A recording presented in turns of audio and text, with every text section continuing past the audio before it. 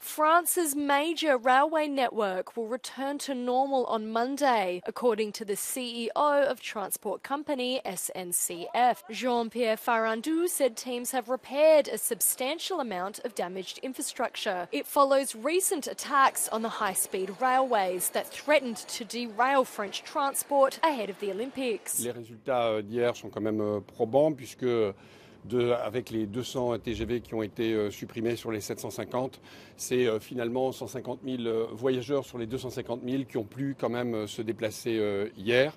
Et grâce aux équipes de SNCF Réseau qui ont été mobilisées très fortement pendant la nuit et malgré les conditions météorologiques qui étaient difficiles pour travailler, ils ont réussi à rétablir quand même pas mal d'éléments du réseau TGV aujourd'hui. According to a company press release, train services will be patchy over the weekend and customers should expect delays of up to two hours.